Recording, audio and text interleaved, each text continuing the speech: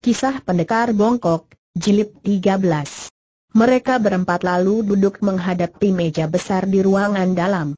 Bisian segera menceritakan pengalamannya ketika ia diambil murid Koai Tojin.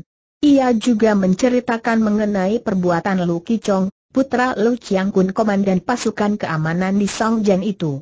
Coba ibu bayangkan, bukankah orang itu jahat sekali? Ia menggunakan anak buahnya yang menyamar sebagai perampok dan menggangguku, kemudian dia muncul sebagai penolongku. Setelah para perampok palsu itu pergi, dia menggangguku. Untung muncul suhu. Ki Chong datang lagi membawa perampok-perampok palsu itu dan mengeroyok suhu. Akan tetapi mereka dihajar oleh suhu. Air, betapa senangku pada waktu itu. Apakah manusia jahat itu sekarang masih hidup? Ibu? Sielan Hang menahan senyumnya. Hus, jangan berkata demikian, anakku. Memang dia jahat, akan tetapi tidak perlu hal itu diperpanjang lagi. Ia masih hidup dan ayahmu masih mengharapkan perjodohan itu. Bisian bangkit berdiri dan mengepal tinjunya. Apa? Dia masih berani melanjutkan ikatan jodoh itu? Biarlah, Aku akan ke sana dan menghajarnya sendiri sampai dia minta ampun. Jangan, Bisian. Baru saja engkau pulang, jangan membuat ribut di Songjan. Bagaimanapun juga, dia putra kepala pasukan keamanan di sini, dan kekuasaan ayahnya besar sekali. Kalau engkau memusuhi mereka secara terang-terangan begitu, bukankah akibatnya ayah dan ibumu yang akan menanggung? Sumoy, apa yang ibumu katakan itu benar sekali. Engkau adalah penduduk kota ini, tidak baik memusuhi penguasa setempat. Kalau memang engkau ingin memberi hajaran padanya, serahkan saja kepadaku. Di sini tak ada seorang pun yang mengenalku, maka tiada halangannya kalau aku yang pergi menemui dan menghajar orang yang berani menghinamu, kata Bonggan dengan sikap gagah. Sudahlah, Bisian. Aku tidak menghendaki ribut-ribut, kata Sielan Hang yang teringat akan keadaan suaminya. Baru menghadapi suaminya saja yang kini berubah demikian jahat, dia sudah berduka sekali. Apalagi kalau ditambah urusan yang ditimbulkan karena pengamukan Bisian terhadap keluarga Lu Chiang Kun. Engkau baru pulang, Bisian. Karena itu tidak boleh terjadi hal-hal yang hanya akan mendatangkan keributan dan kekacauan. Bisian masih merasa amat penasaran, kemudian ia menoleh kepada Xie Liong. Coba pertimbangkan, Paman Liong. Bukankah sudah sepatutnya kalau manusia macam lu, Kicong itu ku beri hajaran keras? Dahulu pun dia yang menghinamu. Hal itu masih boleh dilupakan karena engkau laki-laki. Akan tetapi penghinaannya terhadap diriku, sungguh membuat hati ini panas dan mendongkol saja. Xie Liong tersenyum, akan tetapi dia lalu bersikap sungguh-sungguh dan memandang tajam kepada keponakannya itu. Bisian, kurasa tadi ibumu berkata benar. Tidak perlu mencari gara-gara dan permusuhan. Tentang kejahatan Lu Kicong padamu, bukankah katamu tadi di adan anak buahnya sudah mendapat hajaran keras dari suhumu? Nah, dengan demikian berarti sudah lunas, bukan? Kalau sekarang dia melakukan perbuatan jahat lagi, barulah pantas kalau kau turun tangan menghajarnya. Kukira engkau cukup mengerti bahwa kepandaian yang kau pelajari bukan untuk menimbulkan kekacauan, bahkan sebaliknya untuk memadamkan kekacauan. Bukankah begitu? Gadis itu memandang dengan mata terbelalak. Eh, kepandaian bukan untuk menimbulkan kekacauan tetapi untuk memadamkan kekacauan? Paman, Aku juga pernah mendengar kalimat itu diucapkan Suhu. Bukankah begitu, Suheng? Senggan mengangguk, akan tetapi dia memandang kepada Xie Leong dengan alisnya yang berkerut. Kalau begitu, suhumu adalah seorang yang bijaksana sekali, Bisian. Memang aku pernah menyaksikan kehebatannya dan mendengar bahwa beliau, yang berjuluk Koai Tojin, adalah seorang yang sakti dan bijaksana. Paman Leong. Engkau, engkau mengenal suhu? Xie Leong tersenyum lagi. Mengenal sih tidak, akan tetapi aku pernah bertemu dengan beliau dan berhutang budi karena beliau pernah mengobati aku yang waktu itu terluka oleh pukulan beracun. Kalau begitu, engkau tentu murid orang sakti pula, Paman Liong. Hayo lekas ceritakan pengalamanmu. Siapa itu gurumu yang sakti tanya Bisian. Gadis ini gembira sekali membayangkan bahwa pamannya yang amat disayangnya dan dikasihaninya itu kini telah menjadi seorang yang lihai. Air, Bisian. Aku yang cacat ini mana bisa mempelajari ilmu silat yang tinggi? Hanya kebetulan sekali bahwa aku mendengar dari ibumu tentang kepergianmu dibawa oleh seorang sakti bernama Koai Tojin, dan aku mengenal nama itu, karena dia, dia itu masih terhitung paman guruku juga. Baik Bisian maupun Bonggan terkejut mendengar ini. Apa gadis itu berseru? Suhuku itu masih paman gurumu. Kalau begitu, siapakah gurumu? Ah, sekarang aku ingat. Pernah Suhu menyebut nama seorang yang katanya paling dia segani dan sayangi di dunia ini. Nama orang itu adalah Peksim Siansu. Benarkah engkau muridnya? Siel Liong mengangguk. Dari dulu engkau memang cerdik, Bisian. Akan tetapi, orang yang cacat seperti aku ini tidak dapat mempelajari banyak ilmu silat. Aku hanya banyak belajar tentang hidup. Ahaha, aku tidak percaya. Engkau tentu lihai sekali, Paman. Sekali waktu engkau harus mengajarku ilmu silat. Wah, mana aku berani? Jika melawanmu, dalam beberapa jurus saja aku tentu akan roboh kata Xiao Liong. Dan suasana menjadi semakin gembira karena paman dan keponakan ini seolah-olah merasakan suasana di waktu mereka masih kanak-kanak dahulu. Hanya Bonggan yang diam saja. Dia sendiri memandang rendah dan tidak suka kepada pemuda bongkok itu. Pemuda bongkok itu kelihatan amat disuka dan dipuji oleh Bisian. Katakanlah pemuda itu sudah mempelajari ilmu dari seorang sakti, akan tetapi dengan punggungnya yang bongkok itu, bagaimana mungkin dia memperoleh ilmu yang tinggi? Bagaimana mampu menghimpun tenaga sakti kalau tulang punggungnya saja bengkok? Dia merasa tidak suka sekali. Apalagi melihat betapa kadang-kadang sepasang mata pemuda bongkok itu mencorong dan memandang tajam kepadanya, seakan hendak menjenguk isi hatinya sehingga dia merasa ngeri sendiri. Masih bagus bahwa pemuda bongkok itu ialah paman dari Bisian, adik ibunya, sehingga bukan merupakan seorang saingan dalam memperebutkan hati Bisian. Air, kalian jangan main-main kata Xielan Hong. Bisian, engkau ini baru saja pulang setelah pergi selama tujuh tahun, dan begitu datang engkau sudah hendak menantang pamanmu. Ketahuilah, pamanmu ini pun baru dua hari tiba di sini. Kedatangan kalian sungguh kebetulan sekali. Sekarang, kalian harus beristirahat dan kita saling melepas rindu dengan membicarakan pengalaman-pengalamanmu, bukan untuk saling hantam dan gebuk. Air, aku ini mempunyai keluarga macam apa? Adik jagoan dan anak tukang pukul? Mereka tertawa, bahkan Bonggan juga tersenyum mendengar ucapan itu. Pada saat itu pula, terdengar teriakan dari luar rumah. Hai, Mana dia istriku yang baik dan adiknya yang gagah? Siang-siang aku sudah pulang dan tidak mabok, hahaha. Laki-laki itu muncul di pintu. Mulutnya barusan mengatakan tidak mabok, akan tetapi keadaannya yang terhuyung-huyung itu jelas membuktikan keadaan yang sebaliknya. Ayah Bisian berseru, bukan seruan girang melainkan seruan kaget melihat keadaan ayahnya. Dahulu, Ayahnya adalah seorang pria yang tampan dan rapi, akan tetapi sekarang, nampak awut-awutan dan kotor. Memang orang itu adalah Yao San Kok. Mendengar panggilan itu, lenyaplah senyum menyeringai dan mengejek tadi dari bibirnya. Sekarang matanya terbuka lebar dan dia memandang pada gadis yang sudah bangkit berdiri dan melangkah maju menghampiri dirinya itu. Bisian, kau, kau Bisian? Ayah Bisian lari menghampiri. Kau kenapakah, ayah? Ayahnya merangkul puterinya itu dan menangis. Bisian terkejut bukan main. Ayahnya menangis. Sungguh hal yang luar biasa sekali. Ayahnya yang demikian gagah perkasa, ayahnya yang jantan. Kini menangis? Ayah, tenanglah, ayah.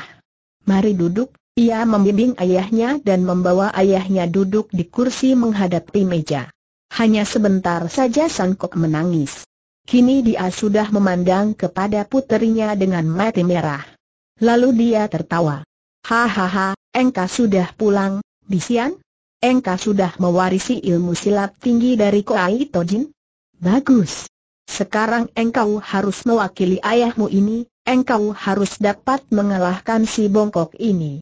Dia telah mengalahkan aku, Bisian. Hem, engkau telah mabok lagi. Mari, engkau perlu tidur Sielan Hang membantu suaminya bangkit dan memapahnya ke dalam kamar.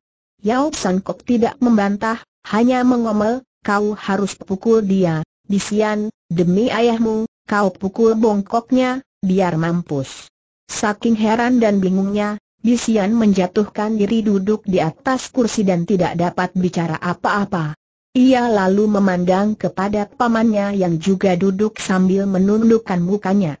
Pintu kamar itu tertutup setelah ayahnya dipapah oleh ibunya masuk ke dalamnya dan suasana menjadi sunyi sekali, sunyi dan menegangkan. Paman Liong, akhirnya Bisian bicara dan meskipun suaranya perlahan, akan tetapi terdengar mengejutkan dan memecahkan kesunyian itu. Engkau, engkau benar telah mengalahkan ayah. Siel Liong mengangkat mukanya, memandang pada keponakannya itu, kemudian melirik ke arah Bonggan. Bisian mengerti maksud lirikan itu, dan dia berkata, Suheng adalah seperti keluarga sendiri, Paman. Tidak ada salahnya bicara di depan dia. Suaranya sudah terdengar kaku, tanda bahwa dia amat penasaran mendengar ayahnya dikalahkan Xie Liong, dan tentu ayahnya telah dipukul oleh pamannya itu. Xie Liong mengangguk-angguk. Aku tidak pernah mengalahkan dia, Bisian. Akan tetapi, Ayah tadi mengatakan, kemarin dulu, ketika aku datang, aku melihat ayahmu hendak memukuli ibumu, dalam keadaan mabok. Terpaksa aku harus melindungi ibumu, namun bukan berarti melawan dan mengalahkan ayahmu. Aku hanya mengelak dan menangkis, dan ayahmu mabok, dan pukulan-pukulan itu, kalau mengenai ibumu, tentu akan berakibat parah. Kau tidak melihat keadaan mereka? Keadaan rumah ini air, bisian, semuanya berubah. Kembali dia melirik ke arah Bonggan. Jelas bahwa dia merasa tidak enak sekali harus bicara lebih banyak di depan orang lain. Melihat ini, Bonggan yang sejak tadi sudah merasa tidak enak dengan munculnya ayah Bisian yang seperti itu, lalu bangkit berdiri. Maafkan aku, Sumoy. Sebaiknya kalau aku mencari rumah penginapan di kota. Besok aku akan datang berkunjung, sampaikan maafku kepada ayah dan ibumu. Bisian hanya mengangguk. Hatinya dipenuhi dengan hal lain, yaitu kenyataan tentang ayah dan ibunya. Dan dalam keadaan seperti itu, memang sebaiknya kalau Suhengnya bermalam di rumah penginapan. Baiklah, Suheng. Maafkan kami. Bong Gan pergi meninggalkan rumah itu. Setelah pemuda itu pergi, barulah Bisian duduk di dekat Xie Liong. Tadi gadis itu memang marah sekali membayangkan bahwa pamannya sudah memukul ayahnya, akan tetapi kini sudah hilang kemarahannya. Dia terlalu percaya kepada Xie Liong, tidak mungkin pamannya ini mau memukul ayahnya. Nah, sekarang ceritakanlah keadaan yang sesungguhnya, Paman Bisian menuntut. Xie Liong menarik napas panjang. Sebenarnya, ibumu yang harus bercerita kepadamu. Akan tetapi biarlah, aku pun berkewajiban untuk memberitahukan semua kepadamu. Ketahuilah bahwa setelah kita berdua pergi, ayahmu telah berubah sama sekali. Setiap hari dia bergaul dengan orang-orang sesat. Dia berjudi, selalu mabok-mabokan, pelesir, menghamburkan uang sampai usaha dagangnya jatuh dan dia bangkrut. Bukan hanya itu, malah semua barang di rumah, perabot dan perhiasan ibumu, semua dijual untuk dihamburkan di medan perjudian dan pelesiran. Lebih lagi, dia mulai membenci ibumu dan suka memukuli ibumu. Ahaha, mana mungkin itu? Aku sendiri pun tidak akan percaya kalau tidak melihat sendiri. Kemarin dulu, dia tidak tahu bahwa aku telah datang, dia datang malam-malam dalam keadaan mabok dan hendak memukuli ibumu. Aku yang melihatnya lalu melindungi ibumu. Aku diserang, bukan main-main, diserang mati-matian dengan pedang. Aku hanya membela diri, sama sekali tidak memukulnya, melainkan merampas pedangnya.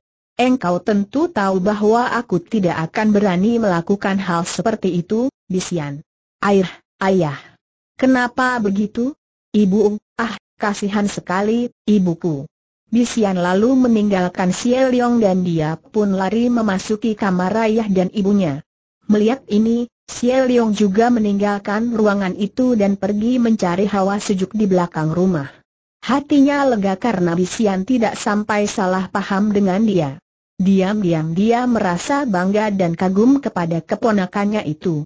Bisian telah menjadi seorang gadis seperti yang selalu dia bayangkan. Seorang gadis yang lincah jenaka, gagah perkasa, berkepandaian tinggi, juga bijaksana seperti sikapnya tadi ketika melihat ayahnya dan bertanya kepadanya. Tidak mudah dipengaruhi emosi. Dan dia teringat kepada Bonggan. Pemuda itu Suheng Bisian? Sebagai Suhengnya, tentu mempunyai ilmu silat yang lebih tinggi. Memang, baru melihat sinar matanya saja mudah diduga bahwa pemuda itu tentu lihai sekali. Akan tetapi ada sesuatu pada pandang mata pemuda itu yang membuat hatinya merasa tidak enak. Dia duduk di atas bangku di bawah pohon. Mengapa dia merasa tidak enak? Karena pemuda itu Suheng Bisian dan kelihatan amat akrab dengan gadis itu sehingga Bisian mengajak pemuda itu pulang? Hendak diperkenalkan kepada ayah ibunya? Kalau benar begitu, mengapa dia harus merasa tidak enak? Sudah sepantasnya kalau Bisian saling mencinta dengan pemuda itu. Ah, tidak tiba-tiba dia bangkit dan mengepal tinju. Akan tetapi dia teringat dan sadar lagi, duduk kembali. Ih, engkau ini kenapa? Demikian dia memaki diri sendiri. Bisian seorang gadis yang cantik manis, dan suhengnya itu pun seorang pemuda tampan. Keduanya sudah sama dewasa, sudah sepatutnya kalau saling jatuh cinta. Kenapa di dalam hatinya harus ikut ribut-ribut? Dia kan hanya pamannya, dan dia akan hanya seorang bongkok? Yang tahu darilah kau demikian dia memaki diri sendiri. Dan Xie Leong duduk termenung di kebun belakang itu sampai lama sekali. Seorang pemuda memasuki rumah pelesir yang mewah itu. Pemuda itu tampan dan segera menarik perhatian para pelacur yang hendak memperebutkan perhatian pemuda itu. Maka, ketika pemuda itu duduk di dalam ruangan makan di depan, segera ada lima orang gadis pelacur menghampirinya, menyapanya dengan ramah dan tanpa diminta mereka segera duduk mengelilingi meja itu. Pakaian mereka yang tipis, muka mereka yang berbeda tebal, tubuh mereka yang menantang dan disiram minyak wangi, membuat pemuda itu tersenyum-senyum gembira. Pemuda itu bukan lain adalah Bonggan. Sebetulnya tidak aneh bila kini dia kelihatan berada di dalam sebuah rumah pelacuran, walaupun selama ini dia sangat pandai menyimpan rahasia. Semenjak dia melakukan perjinahan dengan Pek Lan, selir ayah angkatnya itu, dia sudah menjadi hamba nafsu birahi yang tidak ketulungan lagi. Akan tetapi, sebagai murid Ko Tojin dan yang selalu dekat dengan Bisian, dia pandai sekali menjaga diri sehingga di luarnya dia nampak alim bukan main, sopan dan tidak pernah kurang ajar. Akan tetapi, apabila dia memperoleh kesempatan, yaitu ketika dia melakukan perjalanan seorang diri untuk berbelanja bumbu atau memburu binatang, dia selalu menggunakan kepandaiannya untuk memuaskan birahinya yang berkobar-kobar. Di luar dugaan Bisian dan Koai Tojin, setelah dewasa, Bonggan ternyata sering sekali mengganggu wanita. Baik melalui ketampanannya, kepandaiannya, maupun dengan paksa. Banyak sudah istri atau anak gadis orang menjadi korbannya, namun selalu dapat menjaga diri, menyembunyikan mukanya sehingga tidak ada yang mengenalnya. Wanita yang dirobohkannya dengan modal ketampanan, selalu adalah istri orang yang tentu saja tidak akan membongkar rahasia busuknya sendiri. Juga, tempat pelacuran bukan tempat asing bagi Bonggan karena kalau dia tidak mendapatkan korban, maka tempat pelacuranlah yang kemudian menjadi tempat dia melepaskan semua dorongan nafsu birahinya. Kini dia berada di rumah pelacuran karena hatinya agak kesal. dia terpaksa berpisah dari Bisian, bermalam di sebuah rumah penginapan dan malam itu, karena iseng, dia pun keluar berjalan-jalan. Akhirnya ia masuk ke dalam sebuah rumah pelesir yang besar di kota Songjan. Bong Gan tidak kekurangan uang. Sebelum memasuki rumah penginapan tadi, dia telah menggunakan kepandaiannya untuk memasuki sebuah rumah gedung dan dari dalam rumah itu, tanpa diketahui siapa pun, dia telah berhasil mencuri uang emas yang cukup banyak. Dengan kepandaian yang telah dia miliki, kejahatan seperti itu mudah saja dia lakukan. Tidak lama kemudian, dia sudah masuk ke dalam kamar ditemani oleh tiga orang gadis pelacur. Menjelang tengah malam, baru dia keluar dari dalam kamar itu dan bermaksud untuk kembali ke rumah penginapan. Besok pagi-pagi dia akan berkunjung ke rumah Bisian dan dia tidak ingin kurang tidur. Dia keluar digandeng tiga orang gadis pelacur yang kelihatan amat mencintanya. Siapa orang nyatakan mencinta seorang pemuda yang tampan, jantan dan royal dengan uangnya? Apalagi kalau perempuan itu seorang pelacur. Akan tetapi, baru saja kakinya hendak menginjak pintu keluar tempat pelesir itu, tiba-tiba terdengar suara seorang pria menegurnya. Hei, bukankah engkau suheng dari Bisian? Senggan menoleh dan dapat dibayangkan betapa kagetnya ketika dia mengenal pria yang menegurnya itu. Yao Sangkok, ayah Bisian. Kalau saat itu ada kilat menyambar kepalanya, belum tentu Bonggan sekaget ketika dia bertemu dengan ayah Bisian di rumah pelacuran. Celaka, pikirnya, habislah namanya. Rusaklah di adi mata ayah Bisian dan tentulah semuanya itu juga akan mendengar dari ayahnya. Tentu semuanya itu tidak akan sudi lagi berdekatan dengan dia kalau mendengar bahwa dia telah dilihat ayahnya di rumah pelacuran, dirangkul tiga orang pelacur. Dia cepat dapat memulihkan sikapnya, berpura-pura tidak mengenal Yao Kok dan melepaskan diri dari gandengan tiga orang pelacur itu. Dia lalu keluar sambil berkata dengan suara dirobah. Anda salah lihat. Yao Kok belum mabok pada saat itu.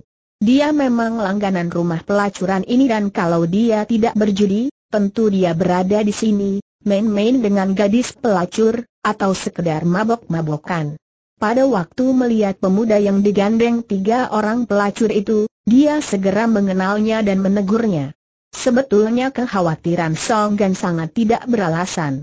Orang yang sudah menjadi langganan rumah pelacuran seperti Yao Sangkok, tentu tak akan memandang rendah kepada pria lain yang juga datang menghibur diri di tempat itu.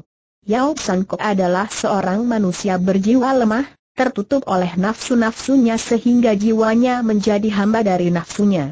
Semenjak kecil ia hidup sebagai orang sesat, di tengah-tengah orang yang bekerja sebagai perampok, penjudi dan penjahat-penjahat. Akhirnya istrinya terbunuh oleh Siekian sehingga dia menjadi sakit hati. Setelah dia memperdalam ilmu-ilmunya, ia berhasil membalas dendam, membasmi keluarga musuh besarnya itu. Akan tetapi dia tergila-gila kepada Sielan Hang dan membawa gadis remaja itu sebagai istrinya, juga membiarkan Siel Leong hidup atas permintaan Sielan Hang yang pada waktu itu amat dicintanya. Karena cintanya terhadap istri yang baru inilah Yao San Ko dapat merubah jalan hidupnya dia bisa mengekang nafsu-nafsunya, sebab semua nafsunya telah dipuaskan oleh istri yang dicintanya itu. Apalagi ketika Bisian terlahir. San Kok bahkan pernah menjadi suami dan ayah yang baik. Melihat Bong Gan bersikap tidak mengenalnya, hanya sebentar Yao San Kok merasa heran. Akan tetapi tak lama kemudian dia sudah tenggelam ke dalam buayan arak dan lewat tengah malam, dia pun berjalan pulang terhuyung-huyung dalam keadaan mabok. Ketika Sangkok melewati daerah yang sunyi, di mana tak ada rumah di kanan kiri jalan, tiba-tiba saja berkelebat bayangan hitam yang langsung menyerangnya dengan kepalan tangan. Serangan itu dahsyat sekali, mendatangkan angin pukulan yang keras. Bagaimanapun juga, San Kok adalah seorang yang sudah lama mempelajari ilmu silat dan tingkat kepandaiannya cukup tinggi. Dia mendengar suara angin serangan ini dan cepat dia mengelak sambil menggerakkan tangan kiri menangkis dan tangan kanannya membalas dengan cengkeraman ke arah pundak penyerangnya. Namun, Penyerang itu lihai bukan main karena dengan sangat mudahnya dia mampu menghindarkan diri dari cengkeraman itu. Saat itu dipergunakan Sankok yang cepat melompat ke belakang itu untuk mengamati penyerangnya. Cuaca gelap, akan tetapi dia melihat bayangan penyerangnya yang berpunggung bongkok. Siel Leong teriaknya dengan suara penuh rasa ngeri. Memang semenjak dahulu dia takut kepada adik istrinya, Takut kalau sampai anak itu mengetahui bahwa dialah pembunuh orang tuanya. Kalau saja tidak melihat istrinya, sudah sejak dulu dia membunuh Xiao Liong. Dan kini, apa yang ditakutinya terjadi. Xiao Liong yang sudah dia bikin bongkok itu, masih berhasil mempelajari ilmu silat tinggi dan malam ini agaknya hendak membalas dendam dan menyerangnya. Maklum bahwa dia terancam maut, Tangan Yao San Kok bergerak dan tiga batang piau beruntun menyambar ke arah tubuh orang bongkok itu. Akan tetapi, dengan amat sigapnya lawannya itu berhasil mengelak dengan sangat mudah. San Kok telah mencabut pedangnya, pedang pusaka Pek Lian Kiam. Biarpun ia mabok, akan tetapi perasaan takut melenyapkan maboknya dan dia sudah mainkan pedangnya, menyerang dengan gesit. Akan tetapi, Sekali ini dia harus mengakui bahwa dia telah berhadapan dengan seorang lawan yang tangguh bukan main. Walaupun lawannya bertangan kosong, akan tetapi serangan-serangan pedangnya tidak pernah mampu menyentuh lawannya yang dapat bergerak secepat burung walet terbang. Kemudian, ketika dengan gugup dia membalik untuk mencari lawan yang tadi berkelebat lenyap ke arah belakangnya, tiba-tiba tangan kanannya menjadi lumpuh tertotok dan pedangnya berpindah tangan. Sebelum San Kok mampu menghindar, sinar pedang berkelebat dan pedang itu telah menembus dada dan jantungnya. San Kok roboh terjengkang, seketika tewas dengan dada ditembusi pedangnya sendiri. Bayangan berpunggung bongkok itu lalu menyambar tubuh yang tak bernyawa lagi itu, menyeretnya menuju ke rumah Yao San Kok. Dengan amat cekatan, dia melompat ke atas genteng dan selanjutnya berlompatan sehingga tak ada orang melihatnya. Setelah berlompatan dari rumah ke rumah, dia lalu turun ke pekarangan belakang rumah Yao San Kok. Pada saat tiba di dekat sebuah jendela kamar di rumah itu, kakinya tersaruk sebuah benda yang mengeluarkan suara keras. Siapa itu terdengar bentakan suara wanita dari balik jendela. Bayangan itu tidak menjawab, melainkan menyeret mayat itu menjauhi jendela. Akan tetapi dia kurang cepat karena tiba-tiba daun jendela itu terbuka dari dalam dan Bisian masih sempat melihat seorang laki-laki berkedok dan berpunggung bongkok menyeret sesosok mayat ke dalam kebun. Paman Liong tanda seru Bisian memanggil. Akan tetapi bayangan itu sudah lenyap ke dalam kegelapan malam. Bisian cepat-cepat meloncat keluar dari kamarnya dan melakukan pengejaran ke dalam kebun. Akan tetapi bayangan orang berpunggung bongkok itu lenyap dan ia menemukan sesosok tubuh menggeletak di atas tanah. Pada waktu itu, kebetulan sekali bulan sepotong yang sejak tadi tertutup awan hitam, terlepas dari cengkeraman awan dan menyinarkan cahayanya yang redup namun cukup terang bagi Bisian untuk mengenal wajah orang itu. Ah, ayah ia menjerit dan cepat berlutut, memeriksa tubuh itu. Ayahnya, benar ayahnya, telah tewas dengan dada ditembusi sebatang pedang yang dikenalnya sebagai pedang pusaka milik ayahnya sendiri, Pek Lian Kiam. Jeritan bisian ini mengejutkan para penghuni rumah itu. Ibunya terkejut dan berlari keluar. Bisian, apa yang terjadi tanyanya sambil berlari tersaruk-saruk ke dalam kebun. Ibu. Ayah tewas terbunuh orang Bisian berseru. Dia pun melompat lalu berlari mencari-cari ke dalam kebun. Akan tetapi, dia tidak dapat menemukan jejak orang yang tadi menyeret tubuh ayahnya. Lalu ia mendekati rumah. Tiba-tiba ia melihat sesuatu. Cepat ia berjongkok dan diambilnya benda itu. Sebuah topeng. Topeng yang tadi ia lihat dikenakan pembunuh ayahnya. Topeng hitam. Bisian, ada apakah ribut-ribut itu? Mendengar suara Siel Leong, Bisian cepat menyimpan topeng itu ke dalam saku dalam bajunya. Ia memandang tajam kepada wajah Xiao Liong. Walaupun remang-remang, ia melihat bahwa selarut itu pamannya ini belum tidur. Paman Liong, apakah sejak tadi engkau tidak mendengar sesuatu tanyanya sambil memandang tajam penuh selidik. Mendengar apa? Aku hanya mendengar teriakanmu memanggil ayahmu, lalu suara encilan Hong di belakang sini. Apakah yang telah terjadi? Paman Liong, mari kau lihat sendiri katanya sambil menarik lengan pamannya itu. Lengan itu tidak memperlihatkan sesuatu, tidak gemetar, bahkan sikap pamannya masih tenang-tenang saja. Bisian ingin melihat bagaimana sikap pamannya jika nanti melihat Xiaonya menggeletak tewas. Setelah tiba di tempat itu, dari jauh Xie Leong sudah mendengar ratap tangis encinya dan melihat tubuh Xiaonya menggeletak dengan pedang masih menancap di dada. Dia terkejut bukan main. Enci Hong, apa, apa yang telah terjadi? Siapa yang membunuh Ciao dia berlutut dan memeriksa. Tidak salah lagi. Ciao-nya sudah tewas, tewas seketika melihat pedang itu menembus dada. Melihat adiknya, Sialan Hang menangis semakin mengguguk sambil memeluk mayat suaminya. Liong Te, bagaimanapun juga, bagaimanapun jahatnya, aku, aku mencintanya wanita itu meratap dan menangis sejadinya. Semenjak tadi Bisian sudah memperhatikan sikap pamannya. Terlalu tenang, pikirnya. Terlalu tenang sehingga tidak wajar. Akan tetapi, kenapa pamannya masih meragukan kenyataan itu? Tadi dia telah melihat dengan matanya sendiri. Orang yang menyeret mayat ayahnya itu berpunggung bongkok. Siapa lagi kalau bukan pamannya? Dan orang itu bertopeng hitam, topeng hitam yang ia temukan di luar kamar Siel Leong pula. Engkaulah pembunuh ayahku tiba-tiba Bisian berteriak sambil melompat dekat Xie Liong. Tangannya sudah menyambar sebatang ranting kayu dan sekarang digenggam di tangannya, telunjuk kirinya menuding ke arah muka Xie Liong. Pemuda itu terkejut dan heran. Apa tanda seru? Apa maksudmu? Bisian dia bangkit berdiri. Maksudku, Xie Liong, engkaulah yang membunuh ayahku. Eh haha. Apakah sudah gila? Enci, bagaimana ini? Bagaimana anakmu menuduh aku yang sudah membunuh suamimu? Akan tetapi anehnya, Sialan Hang hanya menangis, tidak membantah sedikit pun juga. Memang, di dalam hatinya, Lan Hong juga menduga bahwa tentu adiknya itu yang telah membunuh suaminya, untuk membalaskan sakit hati orang tua mereka. Liong Te, kenapa engkau begitu kejam membunuhnya? Bagaimanapun juga, dia ayah Bisian, dia suamiku dan aku, aku cinta padanya. Mendengar ratap tangis encinya ini, Xie Leong terbelalak. Ia merasa bagaikan disambar geledek di hari terang.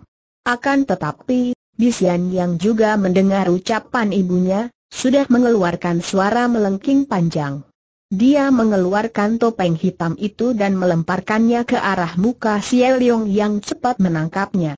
Melihat bahwa yang dilemparkan itu adalah sebuah topeng hitam tipis, Xie Leong tidak tahu maksudnya.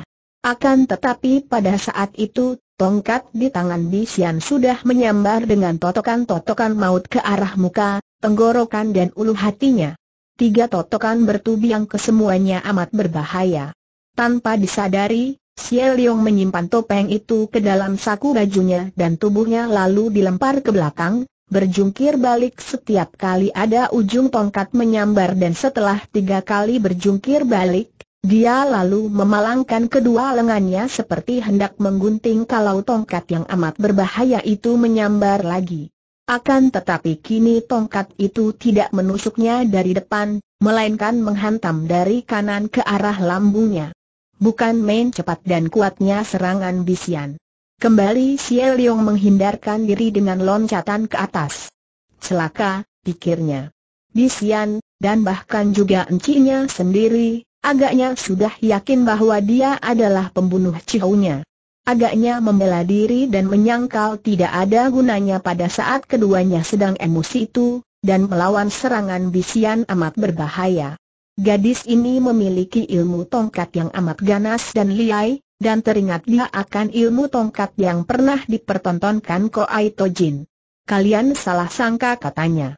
Ketika tongkat itu kembali menyambar dengan totokan maut ke arah pusarnya, Xie Leong melompat ke pinggir lalu kakinya menyambar untuk menendang pinggang bisian dari samping. dia mengerahkan tenaga yang cukup besar sehingga angin tendangan itu menyambar keras. Bisian terkejut dan cepat melompat ke belakang.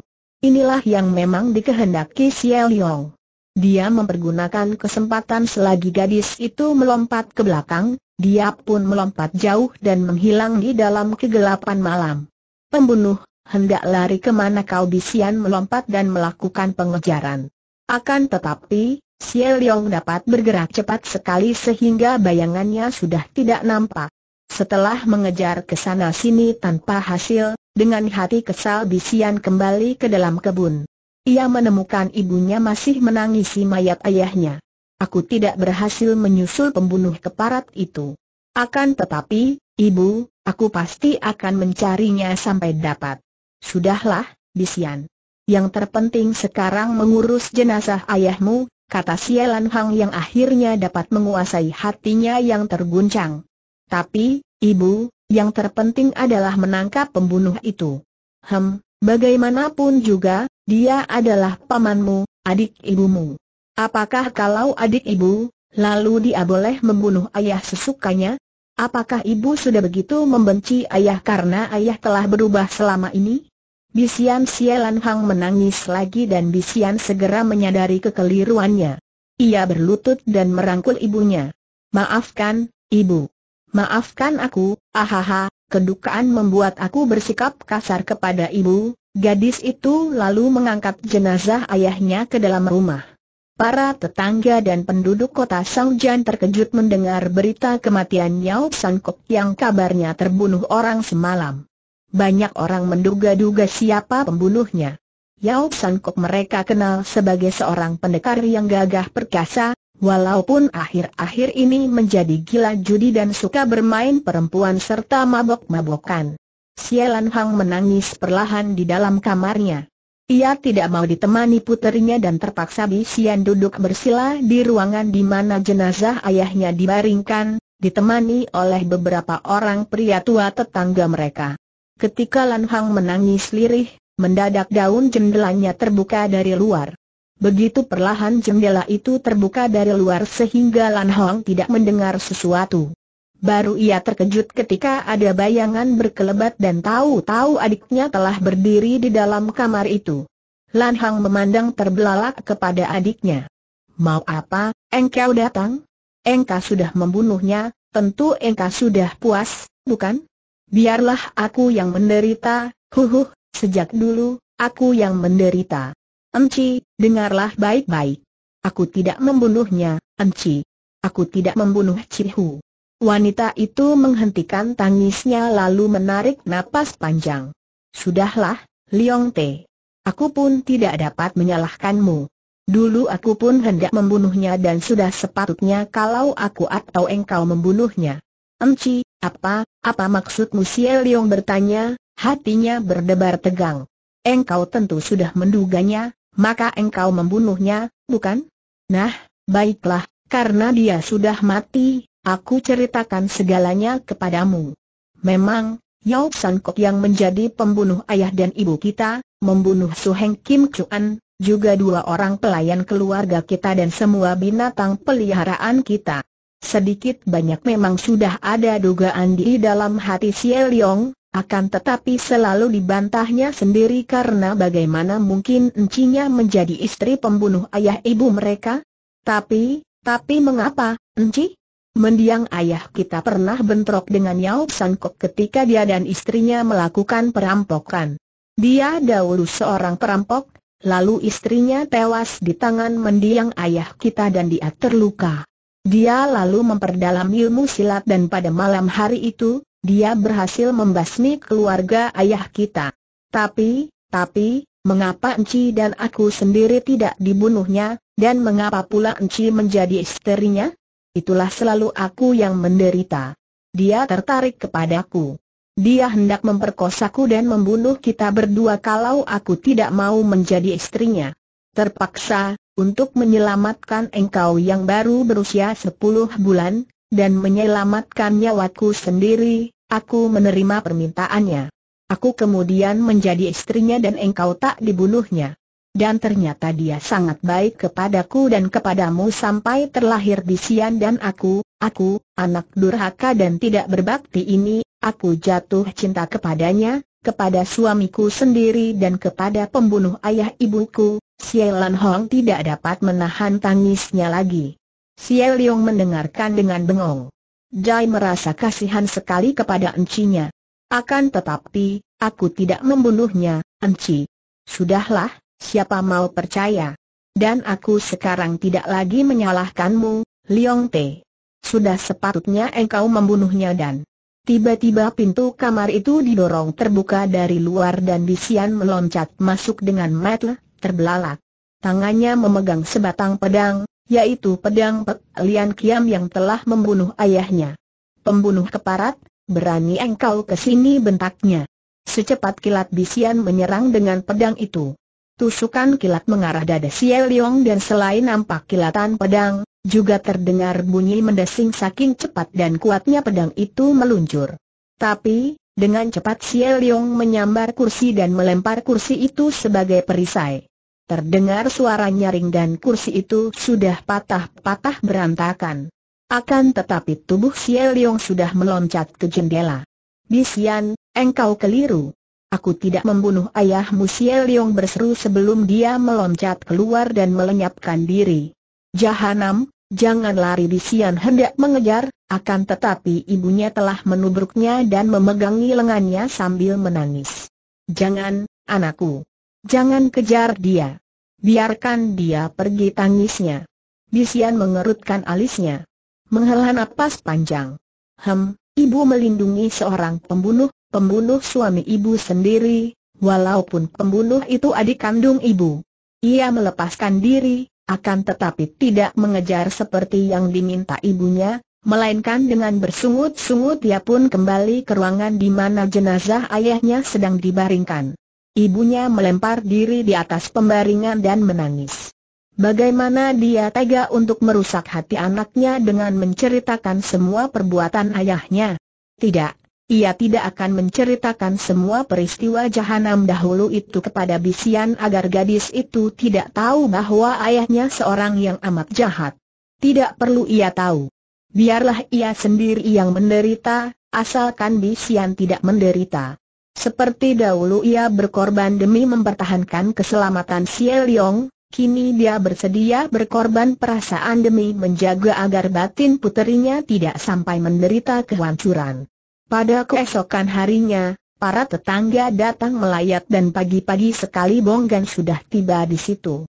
Maksudnya untuk berkunjung kepada semuanya. Tentu saja dia kaget bukan main melihat peti mati di ruangan depan.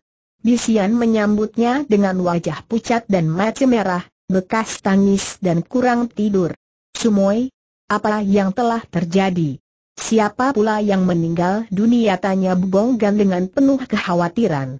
Yang meninggal dunia adalah ayahku, Suheng. Ahaha pemuda itu terbelalak memandang ke arah peti mati. Ayahmu. Tapi kemarin beliau masih segar bugar. Malam tadi, dia meninggal, gadis itu memejamkan matanya, menahan diri agar tidak menangis di depan pemuda itu, apalagi para tetangga mulai berdatangan melayat. Melihat ini, Bong Gan kemudian menghampiri meja sembahyang, memasang hio untuk memberi hormat kepada jenazah di dalam peti itu. Kemudian dia kembali menghampiri Sumoinya. Sumoy, kenapa ayahmu meninggal? Apakah sakit? Mari kita masuk, Suheng, aku mau bicara denganmu. Bong Gan mengikuti Sumoinya menuju ke ruangan dalam. Setelah berada berdua saja, gadis itu mempersilakan Suhengnya duduk. Suheng, ayahku malam tadi dibunuh orang. Hah Bonggan meloncat bangkit berdiri dari kursinya, matanya terbelalak. Dibunuh orang? Bagaimana, siapa? Pembunuhnya adalah, pamanku, adik ibu sendiri. Ahaha. Pemuda berpunggung, bongkok bernama Sialiong itu. Bisian mengangguk, menarik napas panjang. Benar, dialah yang membunuh ayahku. Kalau begitu, Biar aku mencarinya dan menyeretnya ke depanmu, Sumoi Bonggan berseru sambil mengepal tinju, matanya terbelalak penuh kemarahan. Semalam aku sudah menyerang dan mengejarnya, akan tetapi tidak berhasil. Dia tidak boleh dipandang ringan, Su Heng. Agaknya ia telah memperoleh kepandaian yang hebat. Ingat, dia itu murid Supek Pek Sim Sian Su yang menurut suhu memiliki kesaktian yang sangat hebat. Karena itu, aku akan pergi mencarinya, Su Heng, dan harap engkau suka membantuku. Kalau kita maju berdua, tentu dia akan dapat kita kalahkan. Aku siap siaga, Sumoy. Tanpa kau minta sekalipun, aku memang hendak mencarinya untuk membalaskan sakit hatimu ini. Terima kasih, Suheng. Hanya engkau seoranglah yang dapat ku mintai bantuan, yang dapat ku harapkan. Nah, sekarang juga kita berangkat untuk mengejar dan mencari Siel Yong. Eh haha? Sekarang? Tidak menanti sampai selesai pemakaman ayahmu. Tidak, kalau terlambat, dia akan pergi terlalu jauh. Aku sudah siap sedia, lihatlah, ini buntalan sebagai bekal perjalanan sudah kusiapkan. Marilah kita berangkat sekarang juga. Pemuda itu masih bingung karena kepergian itu demikian mendadak, walaupun hatinya merasa girang sekali bahwa dia akan berdua lagi dengan semuanya, berdua melakukan perjalanan. Kau, aku tidak berpamit kepada ibumu. Gadis itu menggeleng kepalanya dengan wajah duka. Tidak, ibu melindungi adiknya. Lebih baik aku tidak menemuinya dahulu sebelum aku dapat membalas dendam kepada pembunuh ayahku. Berkata demikian, gadis itu lalu pergi, diikuti Bonggan, keluar meninggalkan rumah itu dari pintu samping sehingga tidak kelihatan oleh para tetangga yang datang berlayat. Ketika Sielan Hang mendengar bahwa puterinya lenyap bersama suhengnya, pergi tanpa pamit, dia pun jatuh pingsan. Tidak kuat dia menahan pukulan batin yang datang bertubi-tubi itu. Yang terutama sekali memberatkan hati nyonya ini adalah karena dia bisa menduga ke mana perginya puterinya itu. Tentu puterinya ini hendak pergi mencari Siel Leong untuk menuntut balas dendam. Maka kini ia pun merasa menyesal sekali mengapa ia tidak segera menceritakan saja sebab-sebab yang mendorong Siel Leong membunuh Yao San Kok. Kalau dia sudah menceritakan, tentu Bisian akan mengerti dan dapat memaklumi mengapa pamannya itu membunuh ayahnya, karena memang ayahnya amatlah jahat. Setelah suaminya tewas dan dimakamkan, Sialan Hang lalu hidup seorang diri dalam keadaan sederhana. Ia berdagang dengan modal seadanya. Setiap hari ia berprihatin, bersembahyang dan memohon kepada Tuhan Yang Maha Pengasih untuk melindungi puterinya dan untuk mencegah agar puterinya jangan sampai membunuh Xiao Liong. Kalau hal ini sampai terjadi, habislah hidupnya. Ia tidak akan berani melanjutkan hidup lagi. Kehidupannya penuh dengan penyesalan jika sampai puterinya itu membunuh Xiao Liong. Sielan Hang sama sekali tidak khawatir kalau puterinya akan terbunuh oleh Xiao Liong. Ia telah mengenal benar watak adiknya yang bongkok itu. Sampai bagaimanapun juga, Xiao Liong tidak akan membunuh Bisian. Hal ini ia yakin, sama yakinnya bahwa di dasar hatinya, adiknya itu amat mencinta dan menyayang Bisian.